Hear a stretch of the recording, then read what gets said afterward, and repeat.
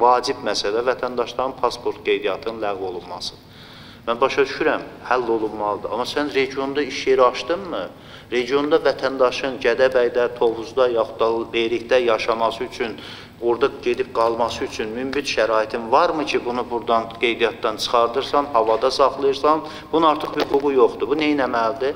Bu artıq nə e, demək asan xidmətə gedə bilir, sənəd ala bilir, nə arayış ala bilir, nə bələdiyyədən, nə icra hakimiyyətindən. Bu çox acınacaqlı bir vəziyyətdir. Hansısa bir problem həll olunmalıdır. Başa düşdüm, gecə qondulaşma falan bunları çözmək lazımdır.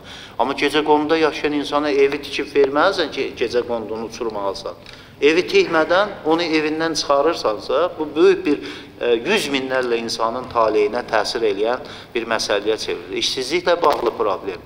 E, ayrı-ayrı yerlərdə qanunsuz işdən çıxarılma məsələləri çox ciddi narahatçılıq yaradır və yüzlərlə insan qəbula gələndə biz onun qarşısında dura bilmirik. Eyni zamanda siz də qarşısında dura bilmirsiniz.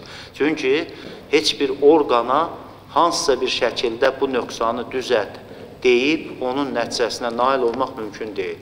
Hər kəs özünü bir muxtariyyət elan edibdi və o muxtariyyətdə də özü istədiyi formada öz hüquqlarını həyata keçirir.